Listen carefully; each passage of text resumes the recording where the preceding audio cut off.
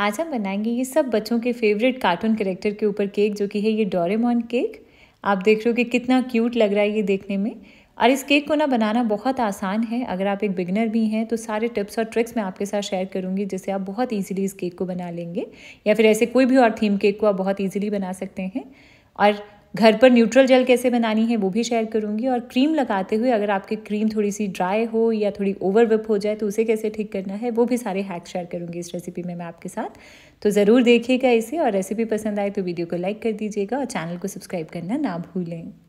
तो आज के इस डोरेमॉन केक के लिए ना मुझे वेनीला फ्लेवर का केक बनाना था, जिसके लिए मैंने यहाँ पर सबसे पहले ये प्लेन वेनीला स्पॉन्ज बनाई। और इसे मैंने बिना एग्स होममेड बटर मिल्क के साथ बनाया था। इसकी रेसिपी मैं ऑलरेडी काफ़ी बार शेयर कर चुकी हूँ अपने चैनल पर। तो आज मैंने इसका लिंक नीचे डिस्क्रिप्शन बॉक्स में मेंशन कर दिया है, आप वहाँ से इसकी रेसिपी चेक कर लीजिएगा। और बिना अवन कढ़ाई में ही बेक किया था मैंने इसे और केक को पूरा अच्छे से ठंडा करने के बाद अब इसे डीमोल्ड कर लिया है। और अब आप देख रहे हो कि केक कितना ज़्यादा सॉफ्ट और स्पॉन्जी बना है। एकदम कॉटन जैसा सॉफ्ट बना था ये केक तो आप रेसिपी ज़रूर चेक करिएगा, बहुत ही ज़्यादा अच्छा बनता है ये इस तरह से। तो इसके बाद अब हम अपने केक की आइसिंग शुरू करेंगे, जिसके लिए सबसे पहले इसे लेयर्स में कट कर लेना है। तो ऊपर का ये अनइवन पार्ट निकाल दिया मैंने और आप देख रहे हो कि केक कितना एकदम सॉफ्ट स्पॉन्जी जालीदार है अंदर से भी। इसके बाद अब केक को तीन लेयर्स में कट करेंगे। आप चाहो तो डायरेक्ट नाइफ़ के साथ कट कर सकते हो, या फिर अगर आप एक बिगिनर हो तो इस तरह से नाइफ से पहले कट लगा लो और फिर थ्रेड इंसर्ट करके इसके साथ भी आप लेयर्स को कट कर सकते हो। तो बस इस तरह से हमारी ये तीनों लेयर्स आ गई हैं। इसके बाद अब हम अपने केक की आइसिंग करेंगे। और आज के इस केक में ना, क्योंकि मुझे वनीला फ्लेवर ही बनाना था, और बच्चों के लिए ये केक बन रहा था तो मेरे पास ना येलो कलर की वनीला फ्लेवर की क्रीम विप करके रखी हुई थी, पहले किसी केक के लिए बनाई थी मैंने तो थोड़ी सी क्रीम मेरे पास बच गई थी तो मैं आज इसी के साथ ही इसकी आइसिंग कर रही हूँ, क्योंकि बच्चों के लिए बन रहा है तो कलर्स उनको अच्छे ही लगते हैं तो सबसे पहले बोर्ड के ऊपर क्रीम लगा के केक की पहली लेयर रखी और इसे मॉइस्ट किया शुगर सिरप के साथ। शुगर सिरप बनाने के लिए आधा कप पानी में आपको एक चम्मच चीनी को घुलने तक मिक्स करना है और फिर उससे हमें केक को मॉइस्ट करना है। आइस के ऊपर अब मैंने लगाई है क्रीम। और आप देख रहे हो कि क्रीम आपको थोड़ी सी ड्राई लग रही होगी तो क्योंकि ये पहले की विप करके रखी हुई क्रीम है, इसलिए ये हल्की सी फ्रिज में रखी रखी थोड़ी ड्राई हो गई है। तो अगर आपके साथ भी कभी ऐसा होना तो एक छोटा सा हैक बता रही हूँ मैं आपको। तो करना क्या है कि एक स्प्रे बॉटल में थोड़ा सा पानी लीजिए और इस तरह से हल्का हल्का सा क्रीम के ऊपर स्प्रे कर दीजिए। और फिर आप इसे स्मूथ करना शुरू करिए। आपकी क्रीम एकदम पहले जैसी क्रीमी और बहुत ईजिली स्मूथ हो जाएगी। तो है ना, बहुत ही कमाल का हैक तो ऐसे छोटे छोटे हैक्स हमें ज़रूर पता होने चाहिए अगर हम बेकिंग करते हैं तो। तो बस इसके बाद अब केक की सेकेंड लेयर रखनी है और इन सारे स्टेप्स को हमें रिपीट करना है। अच्छा इसी तरह से अगर आपकी कभी कभी क्रीम ओवर विप हो जाए, तभी भी आपको यही हैक फॉलो करना है। बस हल्का सा स्प्रे करिए पानी को और आपकी क्रीम एकदम परफेक्ट लगेगी, आपको बहुत ईजिली स्मूथ भी हो जाएगी। तो बस केक की थर्ड लेयर रख दी है, इसे भी मॉइस्ट किया शुगर सिरप के साथ। और इसके बाद येलो वाली क्रीम मेरे पास ख़त्म भी हो गई थी और वैसे भी मेन क्रीम को मुझे वाइट कलर में रखना है तो अब मैंने वाइट विप्ड क्रीम ली है। और फिर इसके साथ पहले क्रम कोटिंग की इस केक की, और इसके बाद ना अब इस केक को 10-15 मिनट के लिए फ्रिज में रख देंगे। और इसके बाद अब इस केक की आइसिंग में ना, यानी कि गार्निशिंग में हमें चाहिए होगा थोड़ा सा न्यूट्रल जेल जिसके लिए अगर आपके पास मार्केट का न्यूट्रल जेल है तो आप वो ले सकते हो बट मैं आपको घर पर भी बनाना बता देती हूँ। तो इसके लिए सबसे पहले मैंने एक पैन में एक बड़ा चम्मच जितना कॉर्नफ्लावर लिया है, ये नॉर्मल कॉर्नफ्लावर है, जो हम चाइनीज़ खाना वगैरह में यूज़ करते हैं। साथ में इसमें डाल देंगे दो बड़े चम्मच चीनी और तीन चौथाई कप पानी। अच्छे से इसे मिक्स कर लेना है ताकि इसमें कोई गाठे ना रहें। और इसके बाद अब इस मिक्सचर को हम लो फ्लेम के ऊपर पका लेंगे। और इसे अब हम लो मीडियम फ्लेम के ऊपर लगातार चलाते हुए पका लेंगे। जैसे जैसे ये कॉर्नफ्लावर पकता जाएगा ना दो तीन मिनट में ही आप देखोगे कि मिक्सचर जो है ये थिक हो जाएगा और एक ट्रांसपेरेंट जेल जैसी कंसिस्टेंसी में आ जाएगा। तो बस दो तीन मिनट तक ही पकाया मैंने इसे और अब आप देख रहे हो कि मिक्सचर जो है ये थिक हो गया है, एक जेल जैसी कंसिस्टेंसी में आ गया है। तो ये बन गई है हमारी होम में न्यूट्रल जेल तो बस गैस को हम बंद कर देंगे। बहुत ज़्यादा थिक नहीं करना है क्योंकि ठंडा होने के बाद ये और भी थिक हो जाएगा। और इसे अब हम एक बोल में निकाल कर एक साइड पर रख देंगे ताकि ये जो जेल है ना, ये पूरे अच्छे से ठंडी हो जाए। और इसके बाद अब ये जो केक हमने फ्रिज में रखा था, जिसकी क्रम कोटिंग की थी, पंद्रह बीस मिनट हो गए थे, इसे मैंने निकाल लिया है। तो अब हम फाइनल क्रीम के साथ अपने इस पूरे केक को एक बार कवर करेंगे। थोड़ी थोड़ी सी फिनिशिंग कर लेंगे। फिनिशिंग के लिए मैं साइड्स पर कार्ड यूज़ करती हूँ। स्क्रेपर है आपके पास तो वो ले सकते हो। आ, इसके बाद अब सबसे पहले केक कोम के साथ ना मैं अपनी इस केक के साइड पे पैटर्न बना रही हूँ। आ, इसके बाद अब इसके ऊपर की साइड पे हम बनाएँगे अपना डोरेमोन तो इसके लिए ना, सबसे पहले हम क्या करेंगे कि डोरेमोन की जो थोड़ी थोड़ी सी आउटलाइनिंग है ना, वो बना लेंगे। इससे हमें डोरेमोन बनाना बहुत ईजी हो जाएगा।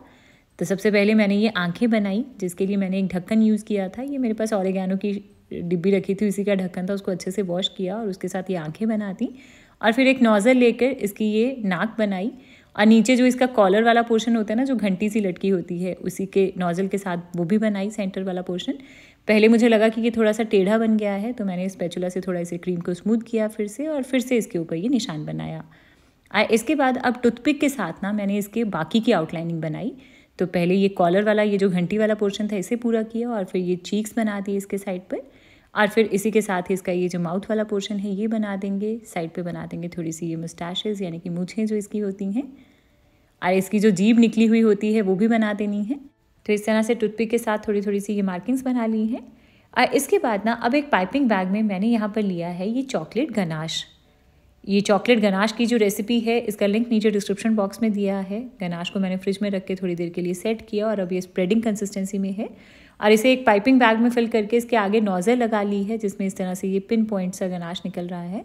अगर आपके पास ये वाली नोज़ल नहीं है तो आप सिंपल अपने बस पाइपिंग बैग को आगे से बस हल्का सा कट कर लीजिएगा। इसी के साथ अब ये जो मार्किंग्स हमने बनाई है ना, इसके ऊपर हम ये गनाश की आउटलाइनिंग करेंगे, यानी कि हाईलाइट कर देंगे इसको इस तरह से। अच्छा कहीं पे भी अगर आपको लगे कि गलती से गनाश इधर उधर गिर गया है तो कोई प्रॉब्लम नहीं है। हल्का हल्का सा आप टूथपिक के साथ या हाथों से इसे हटा दीजिए, बहुत ईजीली हट जाएगा ये। आप देख रहे हो कि नोज़ वाले पोर्शन में मुझसे भी गलती से अंदर की तरफ़ गिर गया है। मैं बाद में कोशिश करूँगी इसे कवर करने की। तो इस तरह से पहले गनाश के साथ हमने ये सारी आउटलाइन बना लेनी है। तो बिल्कुल जैसे किसी पिक्चर को बनाने के लिए जब हम पेंटिंग करते हैं पेपर पर कोई ड्राइंग बनाते हैं तो सबसे पहले आउटलाइनिंग बनाते हैं ना उसकी। तो उसी तरह से हमने आउटलाइनिंग कर ली है इस डोरेमोन की। आ इसके बाद अब इसके सेंटर में हमें कलर्स फिल करने हैं, जिसके लिए सबसे पहले ये जो जेल हमने बना कर रखी थी ना, अब ये ठंडी होकर थोड़ी थिक हो गई है। तो इस जेल को अब एक फ्लोइंग कंसिस्टेंसी में लाने के लिए ना हम इसमें थोड़ा थोड़ा सा पानी ऐड कर लेंगे। अगर आप मार्केट की जेल भी ले रहे हो, तब भी आपको उसमें यही प्रोसीजर करना है। वो थोड़ी सी थिक होती है तो हल्का पानी ऐड करिए ताकि वो फ्लोइंग कंसिस्टेंसी में आ जाए। और इसके बाद जो कलर चाहो आप इसमें वो फिल कर सकते हो। तो डोरेमोन के कलर्स के अकॉर्डिंग मैं सबसे पहले इसमें थोड़ा सा red gel food colour add कर रही हूँ। आप लिक्विड फ़ूड कलर भी ऐड कर सकते हो तो हमारी ये रेड जेल तैयार हो गई है, जिसे अब हम फिल करेंगे इसके नोज़ वाले पोर्शन में और इसका ये जो कॉलर वाला पोर्शन है, इसमें डाल देंगे ये रेड जेल तो टूथपिक के साथ या फिर चम्मच के साथ ना हल्का हल्का सा इस तरह से इसे स्प्रेड कर देंगे. और ये जो टंग वाला पोर्शन है ना, इसे भी मैं रेड कलर से ही भर रही हूँ. और इसके बाद इसी तरह से मैंने थोड़ी सी जेल में येलो फ़ूड कलर मिक्स किया तो ये जो घंटी वाला सेंटर का पोर्शन है, इसमें हम ये येलो जेल डाल देंगे. इसके बाद अब इसके बाकी का जो पोर्शन है ना, वो हम क्रीम से कवर करेंगे। आप चाहो तो इसे भी जेल से कवर कर सकते हो बट मैं इसे क्रीम से कवर कर रही हूँ। तो सबसे पहले अंदर का जो इसका फेस वाला पोर्शन है, उसमें हम वाइट क्रीम फिल करेंगे। और इसके लिए मैंने एक पाइपिंग बैग में नूर फाइव नंबर नोज़ल लगाई है। पहले मैंने एक्चुअली कोई गलती से दूसरी वाली नोज़ल लगा दी थी बट उसके साथ मुझे ये अच्छा नहीं लग रहा था, बन भी नहीं रहा था। तो मैंने दूसरी वाली नोज़ल चेंज की और फिर इसके साथ ना बस छोटे छोटे से स्टार्स बना लेने हैं और पूरे इसके फेस को अंदर की साइड से फिल कर देना है वाइट क्रीम के साथ। तो आप देख रहे हो कि जो पहले साइड पे मैंने थोड़ी थोड़ी सी क्रीम लगा दी थी, उसे मैंने पहले हटाया और फिर नई नोज़ल में क्रीम फिल करके फिर इसके साथ बनाना शुरू किया और अब ये ईजिली बन रहा था। अच्छा इस तरह से अगर आपके पास ये छोटी वाली स्टार नोज़ल नहीं है ना तो आप इसकी जगह अपने पाइपिंग बैग को आगे से बस थोड़ा सा कट लगा लीजिएगा और छोटे छोटे राउंड राउंड से ड्रॉप्स डालिएगा, तभी भी पैटर्न बन जाएगा। तो अंदर के पूरे फेस को हमें वाइट क्रीम से कवर कर लेना है। और ये इजीली कवर हो जाए तो मैं पहले क्या कर रही थी ना कि पहले जो साइड की बाउंड्री है यहाँ पे जैसे जैसे हमने ये ब्लैक कलर का ये जो मार्किंग्स बनाई हैं, पहले इसके साइड पे मैंने सारी जगह पे क्रीम लगा ली। और फिर अंदर का जो पोर्शन बच गया था, उसे मैंने फिल कर दिया वाइट क्रीम से। तो ऐसे मुझे बहुत ईजी लगा इसको बनाना। आप जैसे कंफर्टेबल हो, वैसे फिल कर सकते हो। तो इस तरह से ये पूरी वाइट क्रीम को अंदर फिल करने के बाद अब बाहर के पोर्शन में हमें लगानी है ब्लू क्रीम जिसके लिए बची हुई क्रीम में मैंने थोड़ा ब्लू कलर ऐड किया और फिर हमारी ब्लू क्रीम तैयार हो गई। इसे पाइपिंग बैग में फिल करके सेम नोज़ल लगाई इसके आगे और बाहर के पोर्शन को अब हम ब्लू क्रीम से फिल कर देंगे।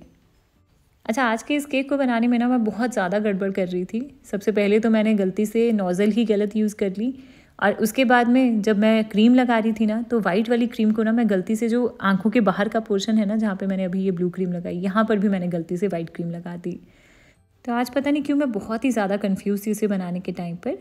क्या आपके साथ भी कभी ऐसा कुछ होता है? अगर आपका कोई एक्सपीरियंस है तो शेयर करिएगा कॉमेंट सेक्शन में। और हाँ ये जो डोरेमोन नोबिता वाला कार्टून है ना, ये मुझे भी बहुत ज़्यादा पसंद है। वैसे आपको कौन सा कार्टून और कार्टून कैरेक्टर आपका फेवरेट है, बताइए वीडियो के नीचे कमेंट सेक्शन में। तो बस इसी के साथ हमारा ये डोरेमोन केक तैयार हो गया है। आप देख रहे हो कि कितना क्यूट लग रहा है ये। तो केक की साइड पे भी मैंने थोड़ी सी बाउंड्री बना दी है। तो बस तैयार हो गया है मेरा ये डोरेमोन केक। बहुत ही ज़्यादा अच्छा बना था ये देखने में। और ये केक मैंने अपनी फ्रेंड के बेटे के बर्थडे पर बनाया था, उसके बेटे को ना। डोरेमोन कार्टून बहुत ज़्यादा पसंद है तो मैंने उसके लिए ये बनाया और उन सबको बहुत ज़्यादा पसंद आया। तो आप भी ट्राई करिए इस रेसिपी को। बहुत ही ज़्यादा ईजी है, बनाने में मज़ा आएगा आपको। मेरे साथ अपना फीडबैक शेयर करिएगा। और ऐसे कौन से और कार्टून करेक्टर्स के ऊपर हम केक बनाएँ, वो भी सजेस्ट करिएगा। और हाँ पिक्चर्स इन सारी रेसिपीज़ की मेरे इंस्टाग्राम पे शेयर करिए। और अगर रेसिपी पसंद आई हो तो प्लीज़ वीडियो को लाइक कर दीजिएगा और चैनल को सब्सक्राइब करना ना भूलें।